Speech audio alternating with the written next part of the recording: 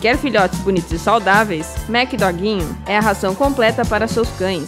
Rações Mac, alimentos completos para cães e gatos.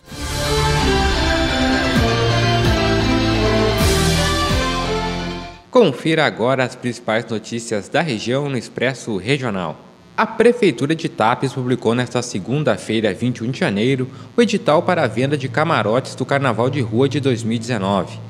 Cada camarote terá 24 metros quadrados de medida, podendo suportar no máximo até 30 pessoas. Os camarotes conterão uma mesa e quatro cadeiras. Serão disponibilizados 10 camarotes para venda, que serão vendidos por ordem de chegada. O preço estabelecido para cada camarote será de 2 mil reais.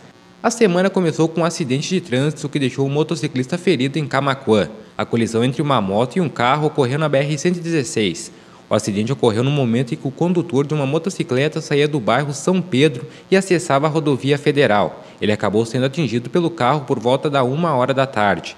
Um casal que estava aguardando o ônibus presenciou o fato e acionou o SAMU, que foi até o local para atender a ocorrência. Uma viatura da Polícia Rodoviária Federal também esteve no local. O Sistema de Seleção Unificada SISU abre inscrições nesta terça-feira, 22 de janeiro, e traz novidades. A principal novidade deste ano é que os estudantes que forem selecionados em qualquer uma das duas opções não poderão participar da lista de espera.